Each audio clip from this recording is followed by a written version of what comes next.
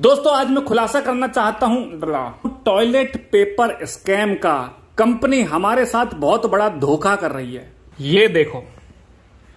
कैसे निकालू इसको मैं? यहाँ पे इसका जोड़ है और यदि मैं इसे किसी भी तरह से, किसी भी तरह से छुटा देता हूँ, ये इतना तो बर्बाद ही हो गया। हम लुट गए, हम लुट गए।